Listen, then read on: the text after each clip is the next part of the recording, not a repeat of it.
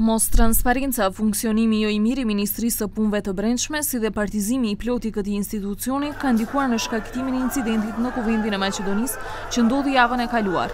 Avokati i popullit, Ixhet Memeti, për Televizionin 21 thotë se kjo ka ndikuar në guximin e protestuesve që të hyjnë në Kuvend, duke mos u penguar nga forcat e policisë. Vite me radhë, institucioni i Avokatit të Popullit ngre shqetësimin e tij Për punën e Ministrisë për Punë t'Mbrendshme, joprofesionale, jo konform standardeve,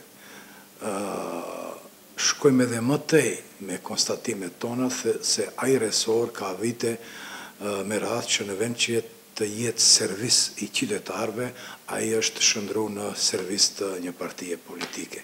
Ministri i Punëve të Brendshme, Agim Nuhiu, për zbardhjen e punës së policisë, ka formuar grup punues, përkatësisht për të vërtetuar se nëse shtabi operativ dhe njësitë organizative në MPB kanë vepruar në bazë të procedurave, a i kanë tejkaluar kompetencat dhe nëse nuk i kanë kryer detyrimet më njëzet e shtatë prill.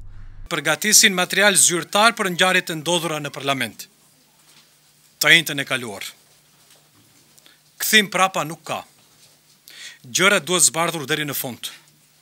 Secili do të përgjigjet për veprimet e veta. Në deklaratë për televizionin Sitel, drejtori i Byrosë për Siguri Publike, Mitko Çavkov, pranoi se është vonuar në shtab.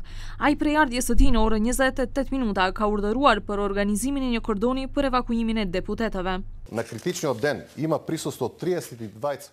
Në ditën kritike ka pasur prezencë të tridhjetë e dy pjesëtarëve të Byrosë për Siguri Publike dhe konstatimi i tyre është rreth gjashtëmbëdhjetë orës deri te ata nuk kanë pasur informata se do të ketë prishje të rendit dhe qetësisë. Pasi ndodhi ngjarja e pakëndshme menjëherë filluam me mobilizimin e forcave shtesë. Nuhiu deri te Qeveria më tre maj dorëzoi propozim me shkrim për shkarkimin e njeriut të parë të Byrosë për Siguri Publike Mitko Çavkov.